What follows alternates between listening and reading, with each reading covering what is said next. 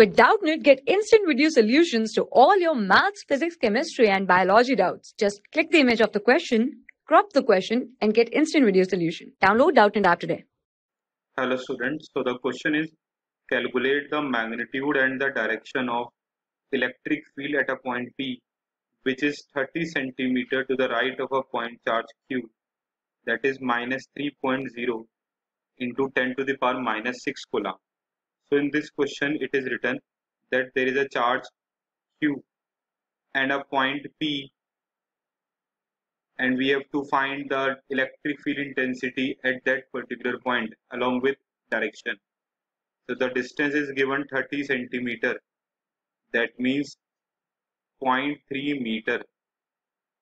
Now to determine electric field intensity we have a formula E is equals to K Q by R square that means 9 into 10 to the power 9 into q.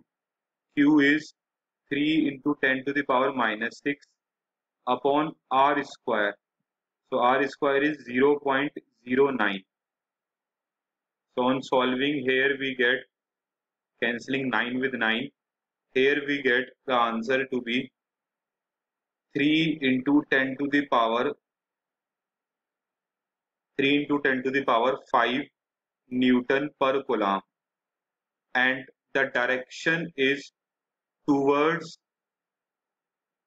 the point charge q that is left towards the point charge q because the direction of electric field intensity is towards the negative charge. I hope that answers your question. Thank you. For class 6 to 12, IIT JEE and NEET level. Trusted by more than 5 crore students. Download Doubtnut app today.